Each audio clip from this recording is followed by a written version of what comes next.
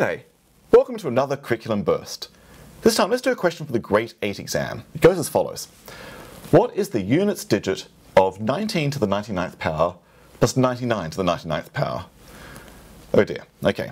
Well the first step in a problem solving process is read the question, done that, and have an emotional reaction to it. And my emotional reaction to this one is, there's no way I want to work out 19 to the 99th power, 19 times 19 times 19 and so forth, and then do that again for 99 to the 99th power. So I'm going to avoid hard work. So let's see, what strategy could I employ here? Well, these numbers are too big. What I'm going to try to do is strategy number five, which is solve a smaller version of the same problem. And let's just be kind to ourselves. Instead of working with 19 to the 99th power plus 99 to the 99th power, Let's just be what feels like a little bit silly and do the simplest, smaller version of this problem possible. What if I just made it 19 plus 99? No powers. And asked what's the final digit of that? Well, I actually can do that. I should work out the sum quickly. All right, 19 plus 99. Uh, 9 plus 9 is 8, and then there's carries and stuff. Oh, stop there.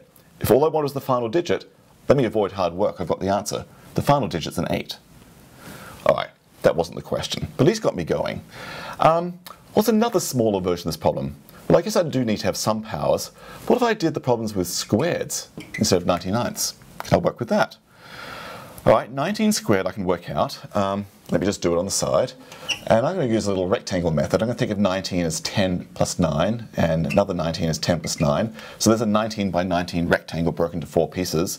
Uh, this area here must be 9 times 9 is 81, 9 times 10 is 90, 90, 10 times 10 is 100. Add up those pieces, but since I don't want to do hard work, I'm going to avoid hard work, I can see right away hundreds, tens, the final digit here is a 1. This guy ends in a 1. And in fact, without doing any further work, I can do the same thing with 99 here. Think it was 90 plus 9. I can see the same idea is going to work. This also ends in a 1.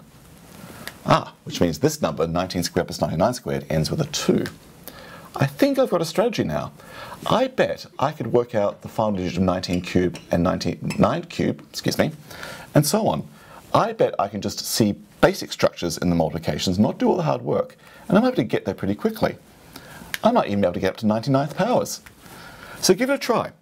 And if you get stuck, uh, have a look at the curriculum burst essay that goes with this video. And if you don't get stuck, look at that essay in any case, see if our answers are the same. Plus there's a nice extension problem to this, uh, to this problem as well, worth looking at as well. Great, have fun with it. Thanks for watching. For more curriculum inspirations material, go to our website. Lots of great stuff there.